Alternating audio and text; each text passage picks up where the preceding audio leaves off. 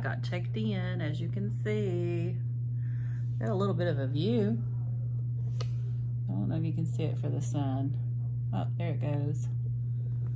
All right, I'm just sitting here watching my YouTube videos. Got my hair propped up, not everybody's way. Wearing a heart, heart, heart monitor. I got strung down through here somewhere.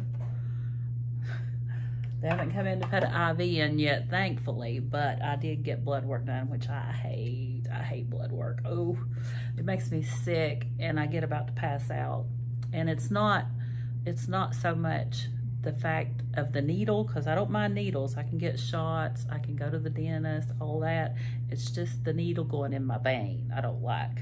So that's what I dread most about hospital stays. I didn't have a hospital stay except to have my kids, my two daughters, until I was 51, 52. So this is something I'm not accustomed to. But I'll be checking in. I don't know which side of the camera to look on. I'm, I'm, I'm new to this uh, selfie stuff. But I'll be checking in with you guys and uh, just keep continue to pray for me. and I really appreciate it. Thanks, guys. Thank you.